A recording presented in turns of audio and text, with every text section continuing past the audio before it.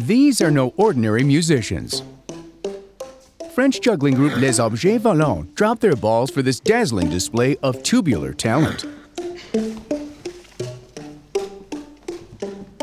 And it's hit the right note with over one and a half million people online.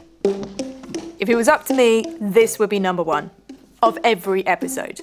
But how did these jugglers turn simple hollow tubes from blah to beast mode? When one of their hands hits the tube, it gives the air inside the tube extra energy. And those air molecules start moving towards the ends of the tube. But that creates an area of low pressure in the middle of the tube and it pulls those air molecules back in. Of course, then they start moving back out and in, and you've created a bouncy, stretchy, vibrating column of air. They set up what's called a standing wave. This standing wave sets up another vibration outside the ends of the tube, and that vibration is one that we can hear as a musical note.